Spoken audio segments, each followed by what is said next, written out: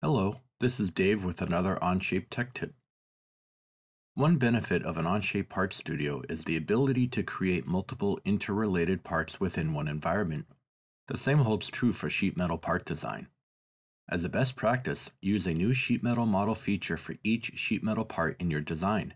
Once created, a sheet metal model feature displays inside your features list as well as inside the sheet metal context pull-down. Renaming a sheet metal part is just like renaming a non-sheet metal part. Expanding the sheet metal context pull-down displays each sheet metal model feature inside this part studio. To rename this context, you must rename the sheet metal model feature. Right-click on the feature and select Rename. Input a new name and press Enter. To make finding the flat pattern easier, rename the context the same as your part. Repeat the previous steps for each part. Expanding the context menu now displays the renamed feature and makes finding the correct flat pattern faster. Thanks for watching. Stay tuned for more tech tips every week.